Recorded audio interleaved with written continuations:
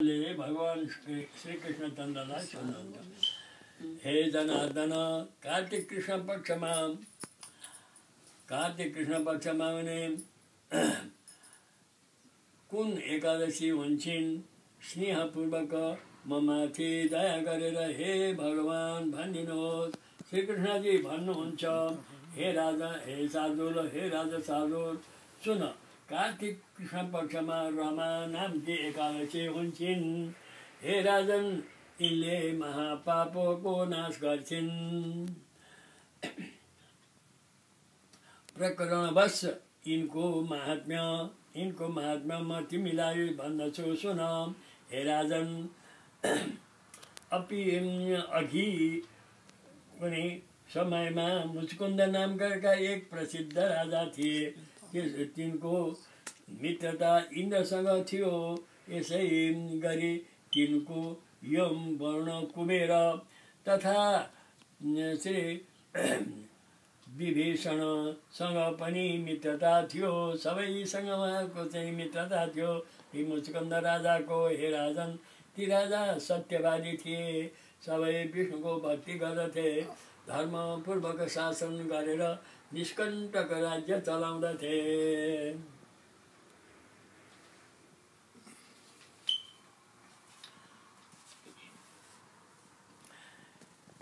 ती राजाका घरमा नदीमा श्रेष्ठ चन्द्रभागा नामको पुरी उत्पन्न भइन्। ती कन्या भइन्। कन्याको विवाह चन्द्रसे चन्द्रसेनका छोरा शोभनसँग भयो। हे राजन ती शोभन एकपल्ट आफ्नो ससुराली घरमा गए। यहीँ पुण्यदायिनी एकादशी रमा पनि पर्दथिन्। एकादशी व्रतको दिन नजिकै आएको चन्द्रभागा भागा मनमा मनमा चिन्ता गर्न लागिन्। हे ईश्वर अब के हुने हो? मेरा पति अत्यन्त दुर्लभ छन् एकदम दुब्ला छन्। ती क्षुधा भोक सहन सक्दैनन् तथा मेरा पिताको शासन अत्यन्त कठोर छ। दशमीका दिन मेरा पिताको आज्ञाले झ्याली पिटेर एकादशका दिन भोजन गर्नु हुँदैन गर्नु हुँदैन भन्दै झ्याली पिटेर घुम्नुहुन्छ झ्याली पिटिएको यस्तो घोषणा घोषणा। हुकुम सुनेर शोभनले आफ्नो प्यारी पत्नी चन्द्रभागालाई भने हे प्रिय अब मैले के गर्ने होला? जे जे गर्ला मेरो जे गर्नाले मेरो प्राणको रक्षा होला हे सुन्दरी त्यो उपाय मलाई भन।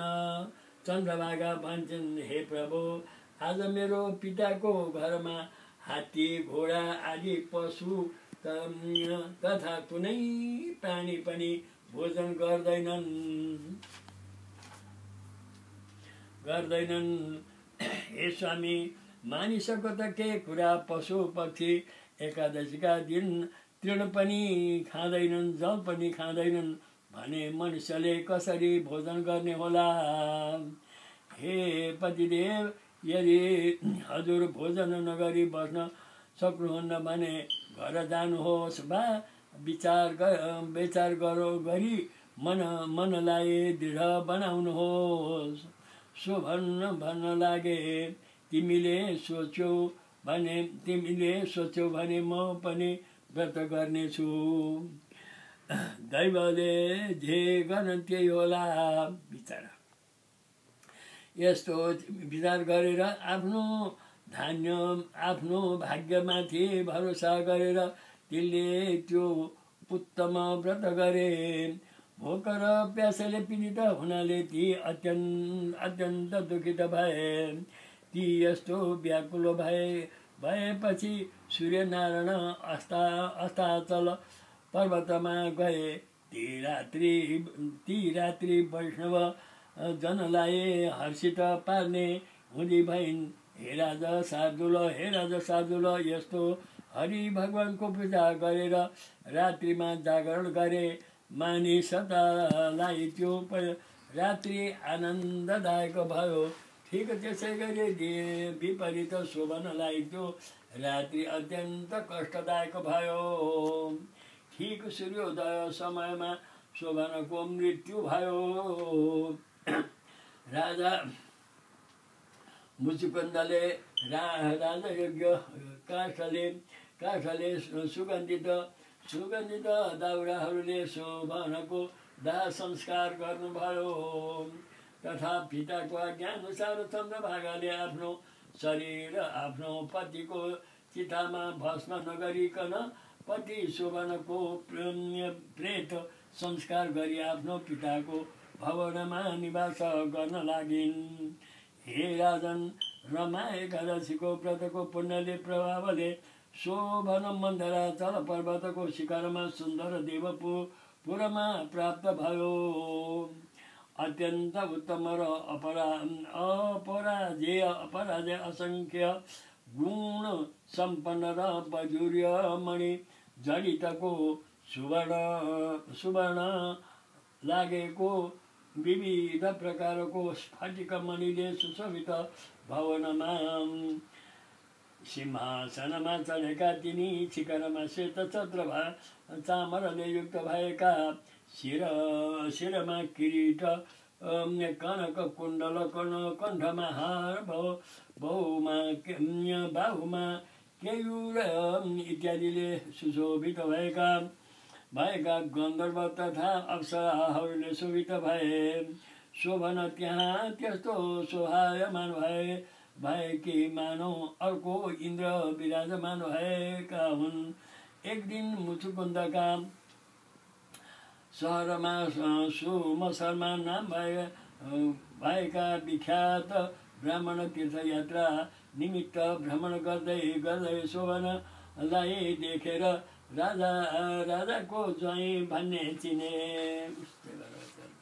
चिने। तिनको नगिच गए तिनलाई दे देख्ने बित्तिकै शोभन शीघ्र ताका साथ आसनबाट उठेर ती ब्राह्मणको सेवा सत्कार गरे। कुशल खेम सोधे आफ्नो ससुराले राजा मुचुकुन्द आफ्नी स्त्री चन्द्रभागा नगरको कुशल पनि सोधे सोम शर्माले भने तपाईँको ससुराली र नगरमा सर्वत्र कुशलै छ चन्द्रभागा पनि कुशलै छन्। हे राजन हे राजन मलाई आश्चर्य हुँदैछ। हजुर आफ्नो वृत्तान्त भन्नुहोस्। यस्तो यस्तो मनोहर नगर मैले आजसम्म देखेकै थिएन। राजन यो नगर हजुरलाई कसरी प्राप्त भयो? शोभन भन्छन् कार्तिक कृष्ण पक्षमा रमा नामक एकादशीको व्रत गर्नाले हे विजेन्द्र मलाई यो अस्थिर नगर यो अस्थिर नगर प्राप्त भयो। भयो हे विलोत्तम अब यो सबै स्थिर रहोस् रहोस् यस्तो उपाय मेरो लागि गरिदिनु पर्यो। ब्राह्मण भन्छन् हे राजेन्द्र यो स्थिर किन छैन र? कसरी स्थिर हुन्छ? त्यो भन्नुहोस् म अवश्य गर्नेछु। यसमा अन्यथा हुँदैन। शोभन भन्छन् हे हे विप्र मैले यस व्रतलाई श्रद्धाहीन भएर भएर गरेको हुँ त्यसै जबरजस्ती गरेको हुँ।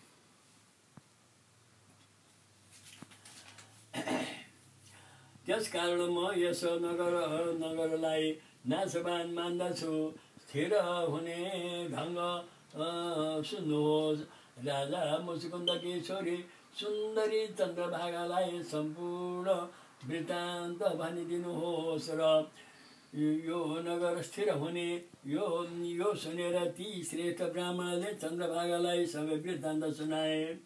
ब्राह्मणका ती वचन सुनेर प्रस्फुलित नेत्र भएकी चन्द्रभागाले भनिन् हे विजय यो वृत्तान्त प्रत्यक्ष हो अथवा स्वप्न हो भन्नुहोस् सोम शर्मा भन्छन् हे पुत्री हे पुत्री महावनमा तिम्रो महावनमा तिम्रो पतिलाई प्रत्यक्ष देखेर देवताहरूको देवताहरूको जस्तो र अविजित तिनको नगर मैले देखेर आएको हुँ स्वप्न होइन। तिनले भने यो नगर स्थिर छैन। तसर्थ हुने मैले भनेको उपाय गरिदिनुहोस्। चन्द्रभागा भन्छन् हे विपर्से मलाई त्यहाँ लैजानुहोस् न। पति दर्शनको मलाई बहुतै इच्छा छ। म आफूले गरेको पुण्यको पुण्यले त्यस नगरलाई स्थिर गराउने छु। हे विप्र हे द्विज जसरी मेरो र तिनको संयोग होस् कृपया गरिदिनुहोस् वियोगीहरूको संयोग गराउनाले महापुण्य प्राप्त हुन्छ। यस्तो चलेर चन्द्रभागालाई साथ लिएर। साथ लिएर सोम शर्मा मन्दराचल पर्वतका समीपमा रहेको वामदेवको आश्रममा गएर अनि वामदेव ऋषिले तिनको वृत्तान्त सुने। वेदको मन्त्र वेदको मन्त्रहरूले ती उज्वल उज्वल भएकी चन्द्रभागाको अभिषेक गर्नाले ऋषिका मन्त्रको एकादशीको व्रतको प्रभावले चन्द्रभागाको शरीर क्रमशः दिव्य हुँदै गयो र ती दिव्य गतिमा। दिव्य गतिमा प्राप्त हुँदै गइन्। अति हर्षि हर्षित भएर प्रस्फुलित भएर नेत्र नेत्र पारेर आफ्नो पतिको नजिक पुगिन् आफ्नी तिलाई प्रसन्नतापूर्वक आएको देखेर शोभन शोभन शोभन।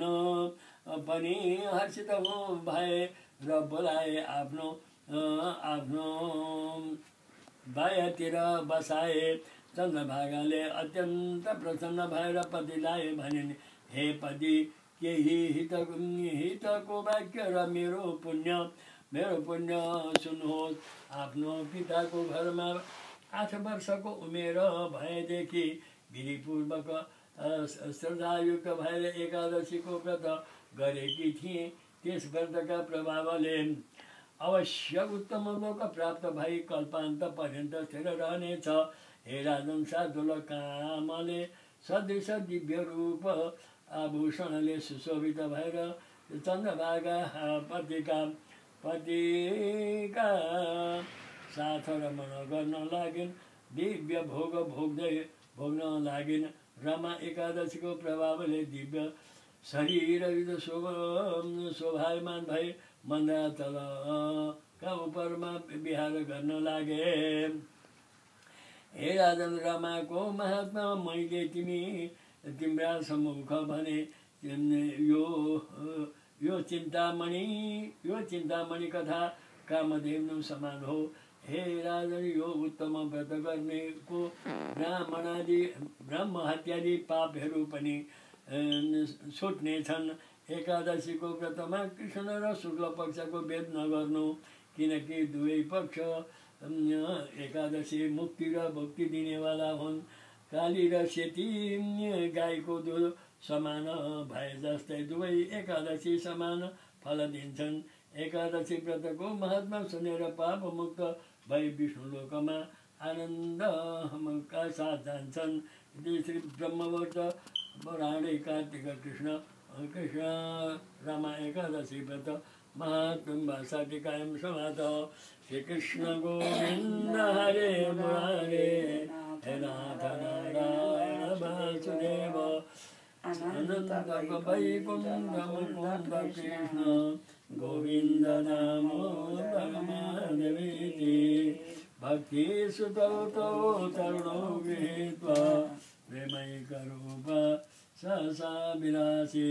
श्रीकृष्ण गोविन्द रे मुरारे नारायण वासुदेवा।